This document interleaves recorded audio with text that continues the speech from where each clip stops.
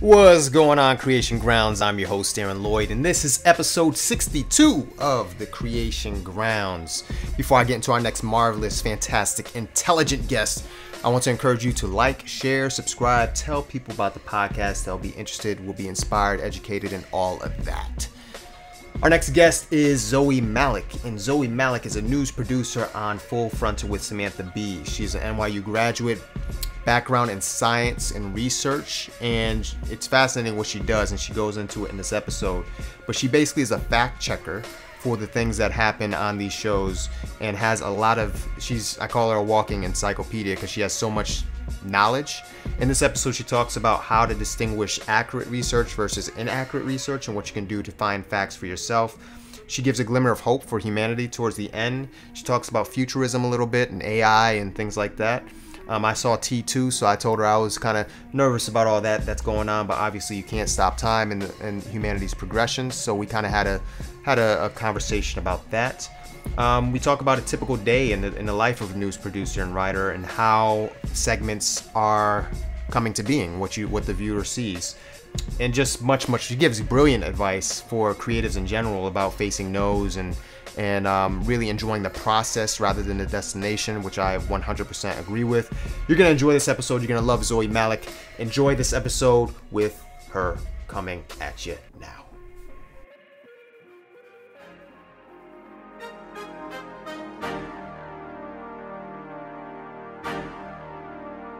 Welcome to another episode of the Creation Grounds. I have the lovely Zoe Malik on with me. What's up, Zoe? Hi, what's up? Thank you so much for having me. Excited to be here.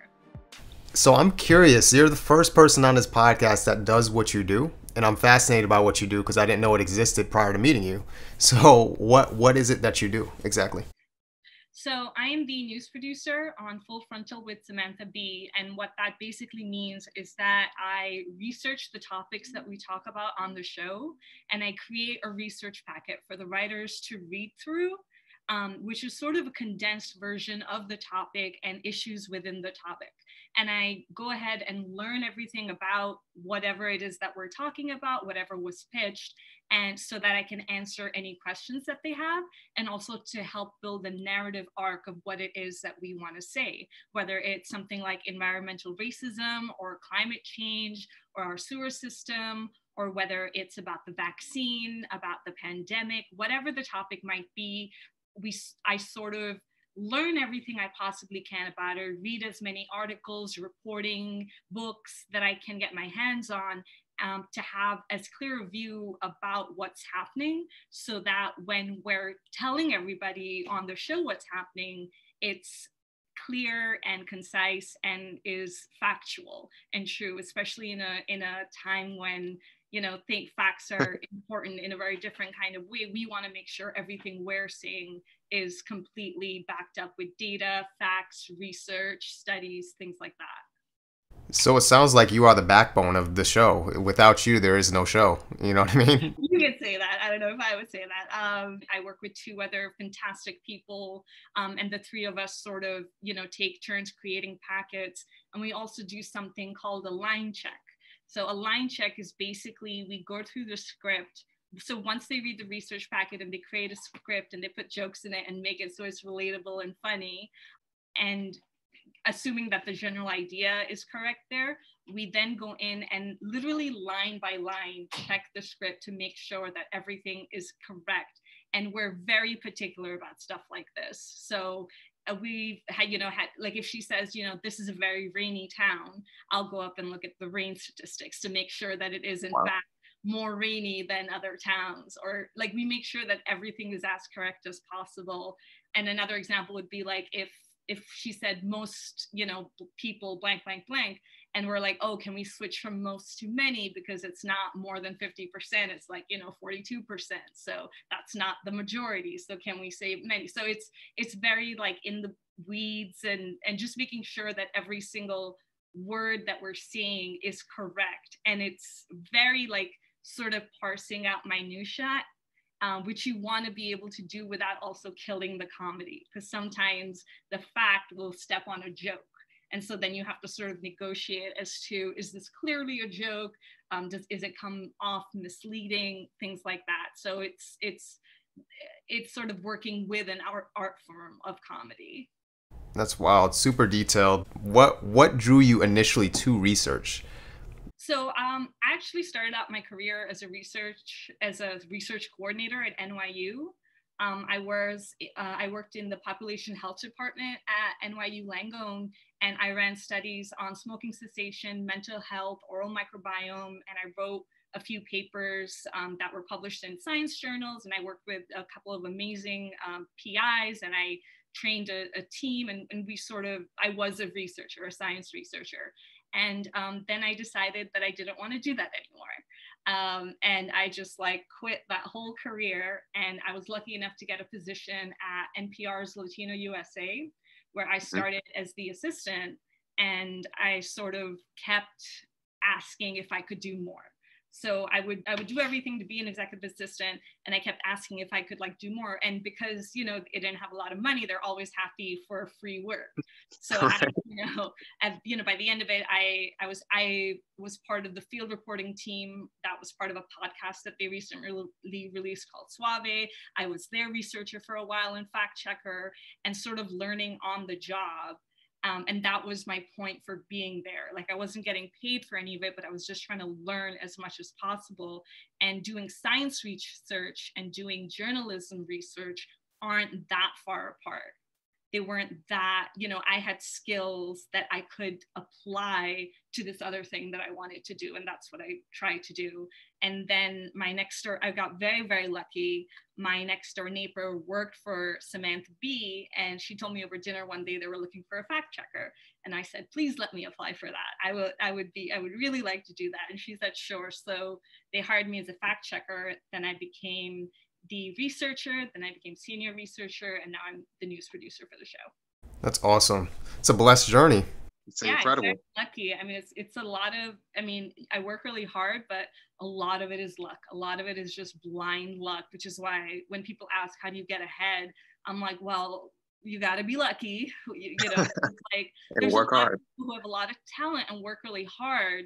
Um, but I mean, I I feel very blessed to to to have you know had that next door neighbor i don't know how else i would have gotten into this sort of position because it's not the some the kind of thing that they do an open call for it's just not that's just not how it works so networking getting to know people like that's that that's how you do it but i i, I wasn't even very good at that i just had a neighbor who i had over for dinner one day um, and that was very very fortunate of me that's awesome. And for you, what's the favorite thing that you like to research? You've got to have a topic or something that you really like. What are you What are you passionate about researching?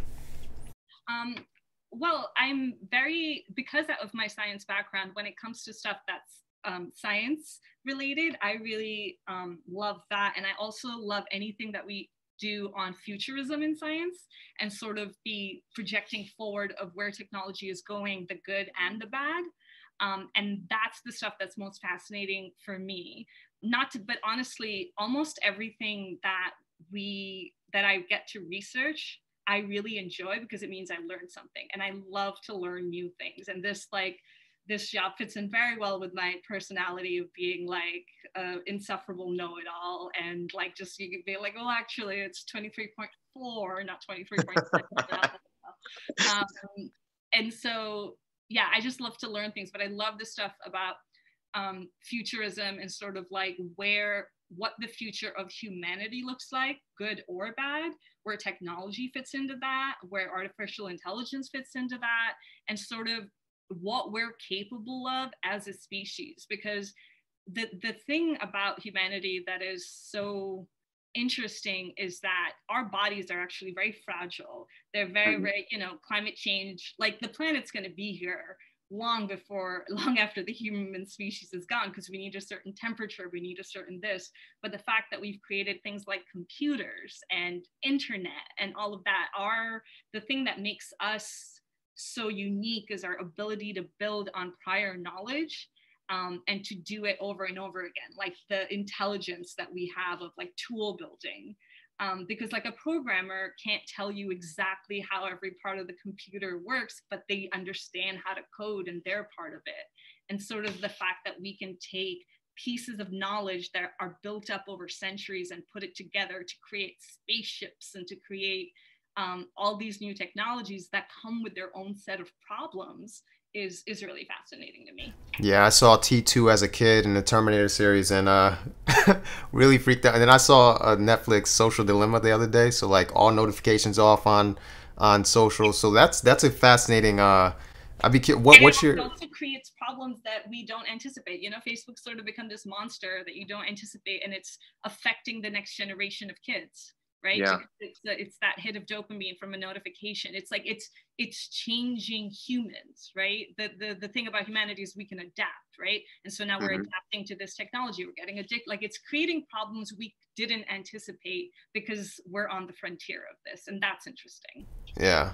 What are your thoughts? What are the good and bad of the futuristic like technology? There's good things about tech and there's certainly but you have the research you have facts. Yeah. Um, so, for you know, example we did a uh, an episode about space trash, uh, which is something that is really fascinating. So, like, we have all these satellites that are basically junk that are left out into space once they're used for whatever it is that they're used for, right? And what's happening is that we're basically going towards an event where it's going to create a chain reaction where one piece of trash is going to hit another piece of trash, is going to hit another piece of trash, and we're going to basically have tiny, tiny pieces of shrapnel moving at incredibly fast speeds around our planet. And this has already become a problem because little pieces are hitting things like the International Space Station. Like, um, like it's it's becoming a problem, especially when you if you want to, you know, travel into space. Um, mm-hmm. You have a barrier of very fast moving tiny shrapnel that you can't catch. Um, and it's it's sort of a problem that no one's really thinking of and no one's really taking responsibility for either right? Because it's space. Who's in charge of space? Who's in charge of space? You know who's responsible for that right? There's no regulation. And and that's true of a lot of new technologies because it's the the laws are catching up much slower than the technology is evolving.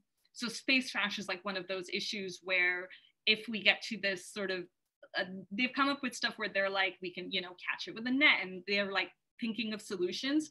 But if we get to that point where it, it'll become an exponential issue. So we haven't reached that threshold yet but at some point it's going to become like one turns you know it multiplies one turns into two turns into eight turns into 64 turns into you know and it's, it's going to go like that and you won't be able to stop it and like i said it's already been an issue for a lot of satellites for the iss and you know every time you send up a rocket there's like just pieces that are quite literally trash that you that you use up the fuel and you unload. And there's satellites that are up there that are no longer serving the purpose they were sent up there for and so they're trash. And and the problem is that some of them are so small you can't track them but think of them as tiny very fast bullets faster than any bullet possible right? Moving at the speed of orbit um, well, that sounds fun. Able to send anything up there, yeah. So stuff like that. Those are problems that we didn't think of. Yeah, and you mentioned ISS. That's International Space Station, right? Just for listeners, um, that sounds interesting. I'm not looking forward to going to space. Uh, so you you you mentioned line checking as well, and you you obviously are a writer. You have a you have a talent for comedy, obviously, right? So and you talk about this balance between facts not getting into the comedy. So, what is that balance of finding the rhythm of that joke, and what's been your favorite segment to work on? So I, I want to be perfectly clear. I am not one of the comedy writers on our show. So I am the news producer. So as far as like the jokes, like we have a fantastic team of writers and they're the ones responsible for making it interesting enough for you to listen to. So even though I am a writer and I do write comedy, I do not do that for Full Frontal. So I want to give all credit to our fantastic writing team, who's an amazing group of people. So I don't actually write the comedy for that show. Okay. Um, um, but I can answer the question as far as like balancing uh, comedy and facts, right? So basically, we'll this is we'll back and forth. So within my little team, we'll decide what to escalate to the head writers, right? And so we'll always be like, is this jokey enough? Is this is this like is this clearly a joke? Is this like something where we have to um, correct it? And sometimes it'll be like, does the lo- do we need to correct the logic of this joke? Because that doesn't quite work, you know? And it'll be and sometimes it'll be like the joke is about a band from the eight and we'll say it's from you know the 80s band blah blah blah. But the band actually started in the 70s and and you know they they separated in 82 so like it was an 80s band but it was also a 70s band. Is that okay? Like a lot of it's just like ridiculous back and forth.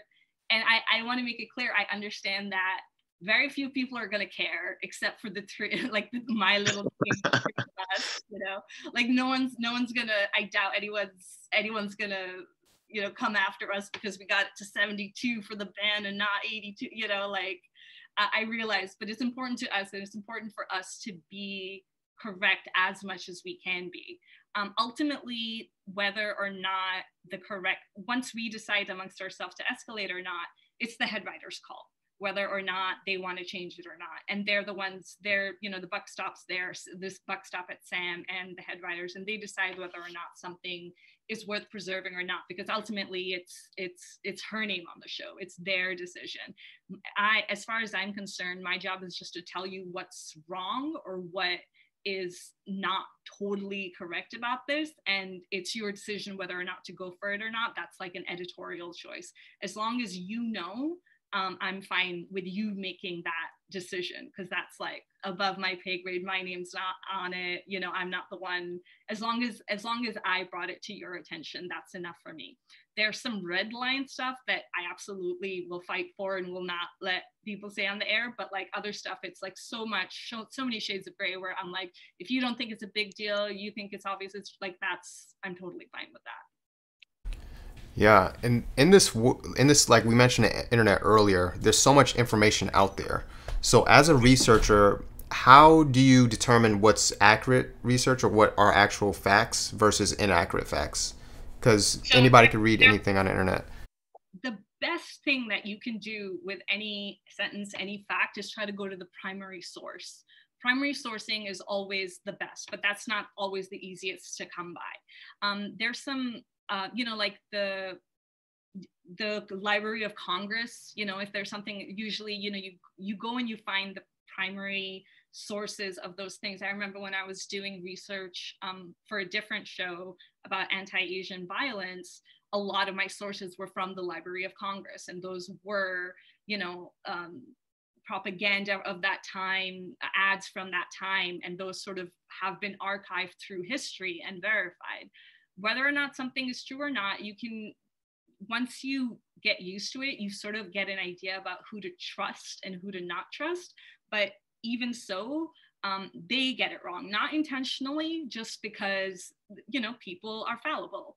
Um, so the best thing you can do is find the primary source. For example, it'll say that you know Senator so and so said this on this date. You can find the video of him saying that and check the date. You know, you can you can find the actual um, fact that they're talking about you know? You can look up the actual law and read what it says. You can and i'm and if there's something i don't understand that's above my you know that i've gotten pretty good over the years but especially when i first started if there was something i didn't understand call up an expert. Call up a law professor at you know harvard or yale or you know whatever university you can get a hold of and be like what does this mean? And explain to me how and it's what they do. They're more, usually more than happy to talk about their something that is their life's work and happy to explain it to someone else.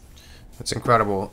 And you have a background in science as um, nyu so how do you think as in you're a writer so you're an artist as well.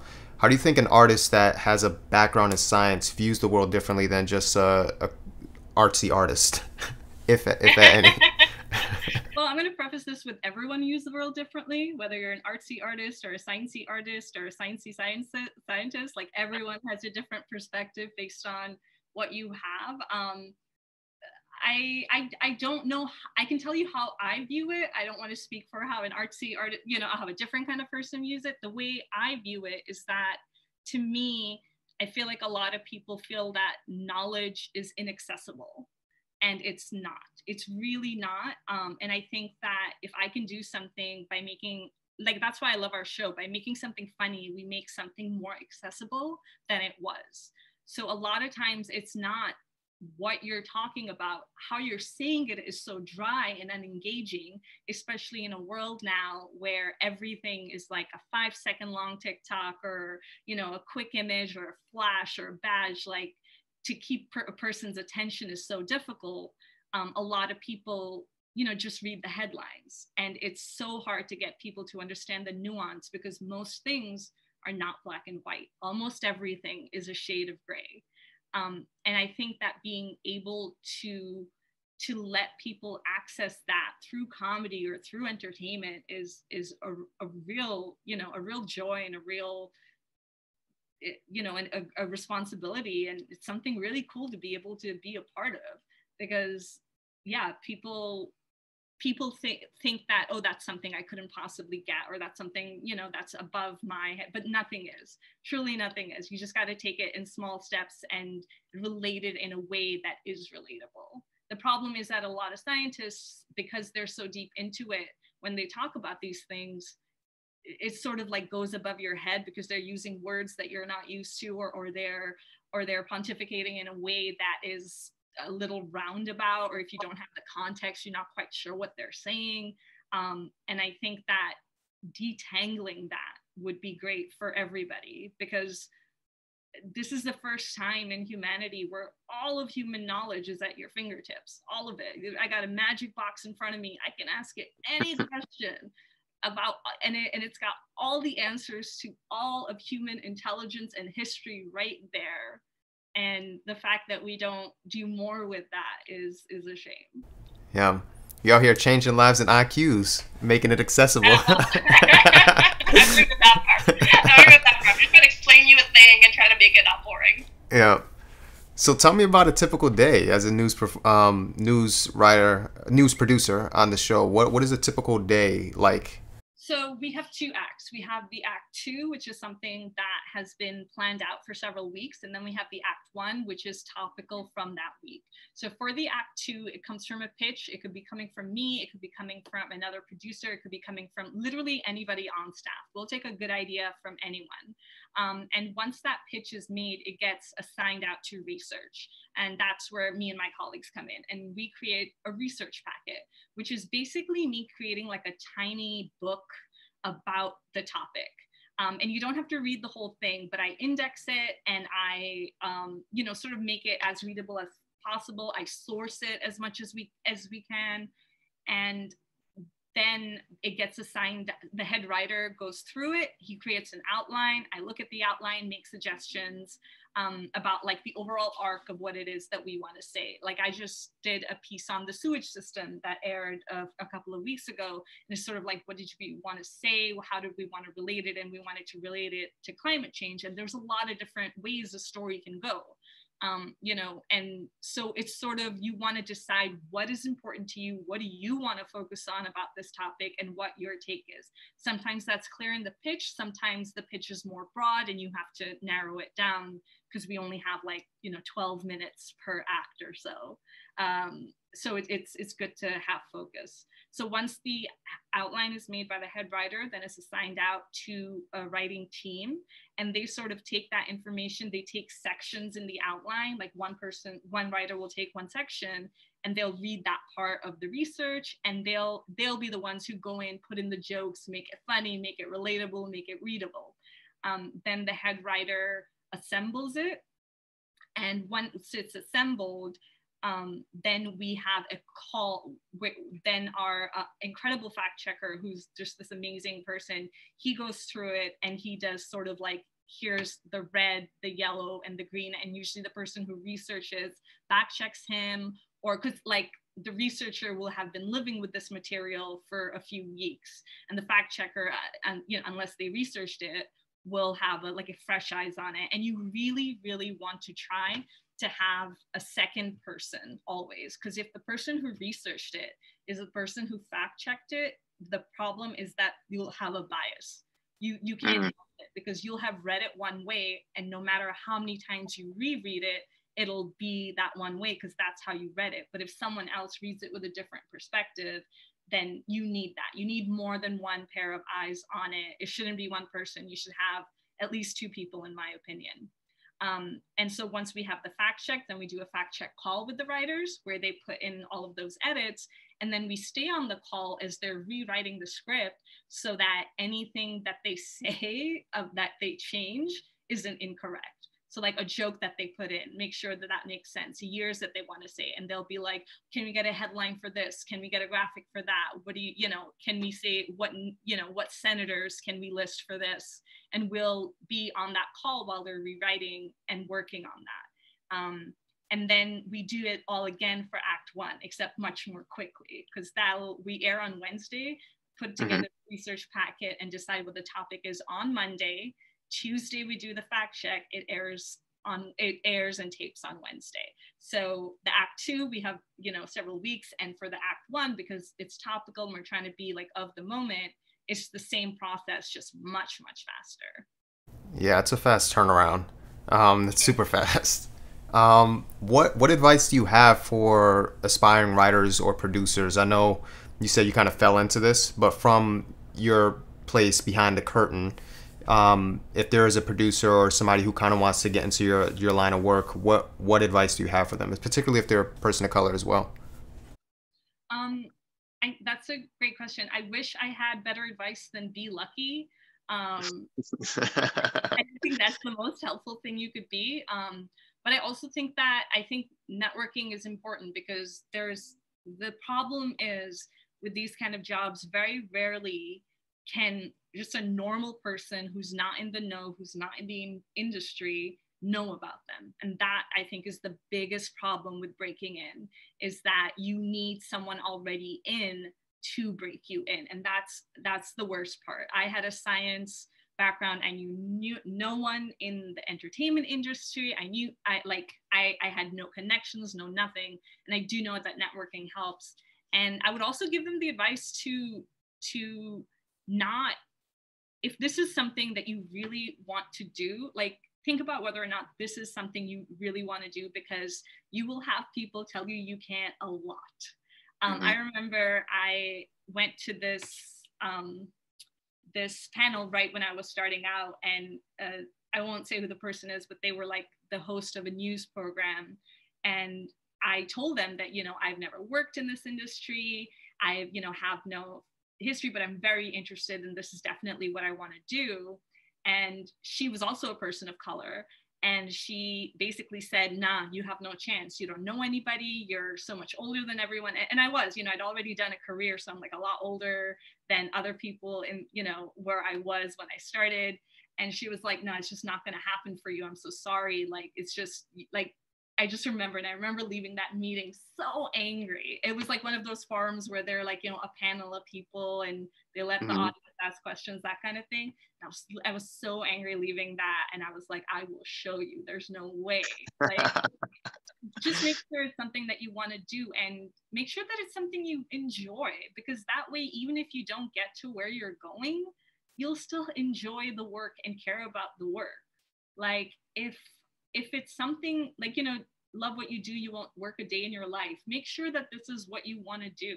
You know get specific about what it is you want to do. Do you want to be in front of the camera? Do you want you know to be behind the camera? Do you want to write just comedy? Do you want to write informational comedy? Are you more interested in, in sitcom? What's your ultimate goal? Do you want to be an ep do you want to be a showrunner?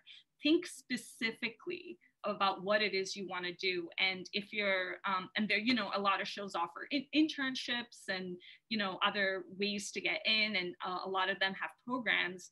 They don't always work out. They didn't for me but um, keep trying and it, but if i you know i mean don't tell my bosses this but if they didn't pay me i would still want to do this. What i would want to do with my time right? So as long as that's true as long as it's something that you love to do even if you end up not being successful you get to do what you love to do for your job and that's pretty great. Because because the fulfillment i don't know some people i feel like you know feel like they'll be fulfilled when they're when they win an oscar or when they do this or when they do that and i'm like no get get fulfilled first and then it'll mm-hmm. be easier to get that other stuff because it won't be the crux of, of who you are. Does that make sense? That's amazing advice. I love that. Um you know purpose driven and, and just like yeah, the process, not you know, 100%. That was great, great stuff. What excites you most in your career right now? Um, right now, I'm, I'm really excited by um, the fact that I'm I'm trying different things and and expanding. So I'm I've been writing more. I've been lucky enough to be published by um, StarTrek.com. Uh, I had a piece in Scholastic. I had a piece in Salon, and they're all different things um, about different topics and like different varieties. So I really enjoy growing and I really enjoy learning. Um, and so any point where I'm able to do that is great. So like anytime I'm doing something for the first time that is something I've not done before is great because I'm learning a new skill. Um, always try to to you know hone your craft more and more you know practice try it in different ways see what you enjoy what you don't enjoy and and try everything try everything that you might be interested in so that you can be specific about what it is you want to do um, and i think yeah i think my my fun part is that um, uh, I get to work with you know some great YouTube channels like the Try Guys. They've been just an incredible team of people who are just like just fantastic.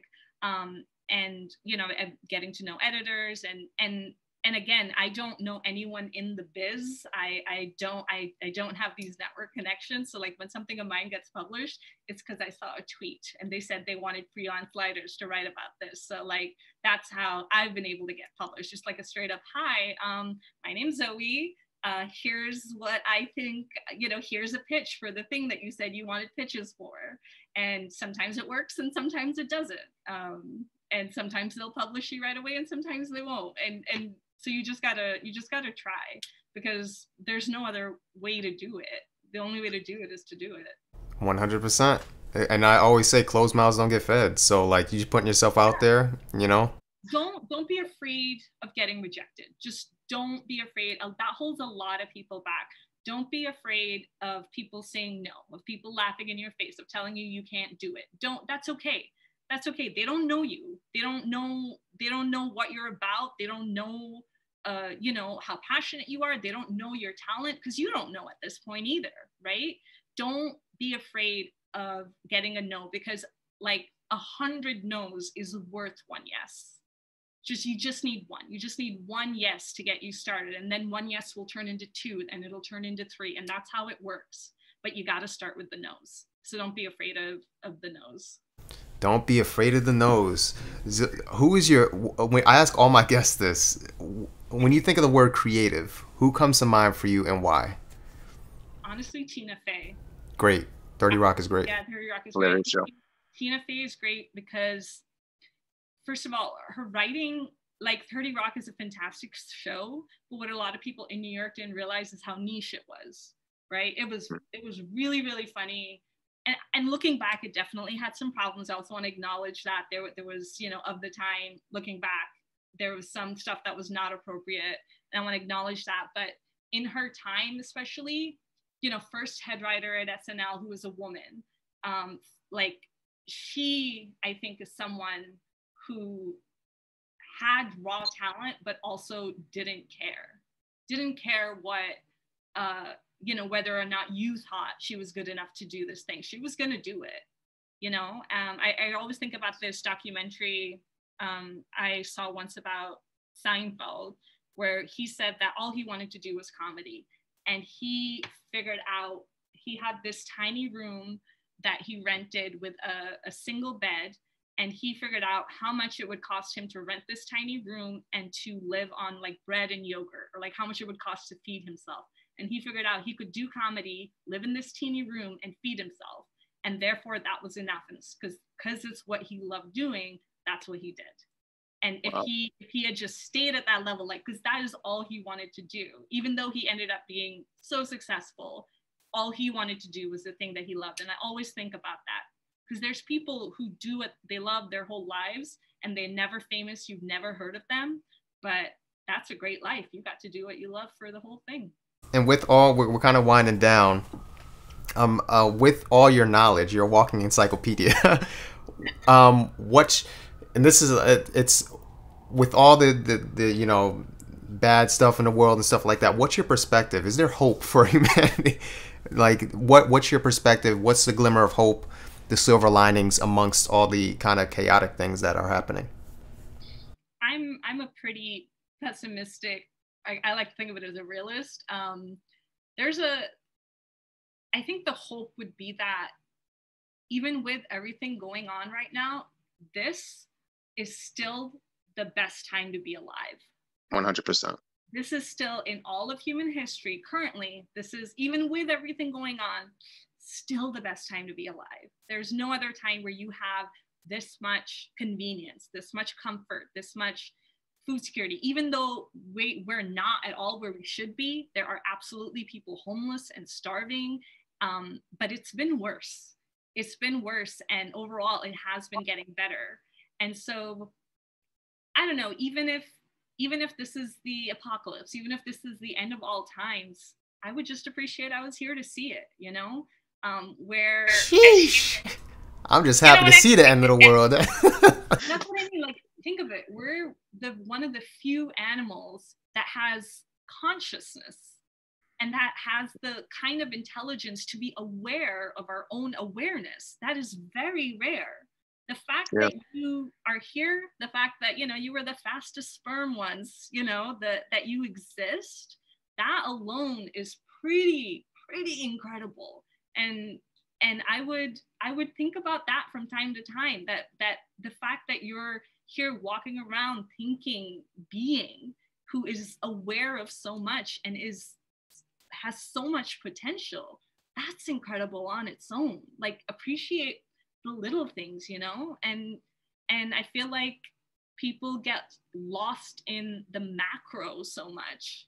They don't really think about the micro a lot you know? You're you're you're the first you're the animal that rules this whole planet you're part of that species. That's you know you could have been an ant. This is uh, you know that's pretty incredible. Just the fact that you're that you exist. How many things had to come together for that to happen? How many coincidences how many you know that's pretty incredible. I think that people need to as far as the optimism just just knowing that that's so rare is is where I you know sort of get my positivity. I, I am a very negative person though, so that's. Are you really? That's, you don't, you don't read to me as a, as a negative person. I want to guess. I'm like I, you know we'll all be fine. This is just a blip. You know even if I'm just saying even if it's the apocalypse, hey you were you exist. That's pretty yeah. cool. You know. Zoe Malik dropping gems. I appreciate your time, and this was a very fascinating episode for me. I hope you had a good time too. Yeah, thank you. Thank you so much for, for having me on. It was a, a real, real pleasure. Thank you for, for taking the time. I really appreciate it.